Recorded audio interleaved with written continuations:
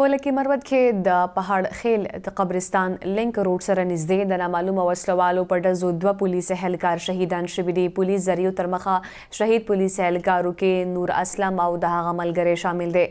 تاسو له افسوسناک خبر درکوو لکي مروت کښې د پهاړ خېل قبرستان لينک روډ سره نزدې د نامعلومه وسله والو په ډزو دوه پوليس اهلکار شهيدان شوي دي. پولیس ذریعو ترمخه شهید پولیس اهلګارو کې نور اسلم او د هغه ملګری شامل دی. پېښې وروسته د پولیس درنه نفري علاقې ته رسېدلې او د دواړو شهید اهلګارو مړي یې سیټي هسپتال ته منتقل کړي دي.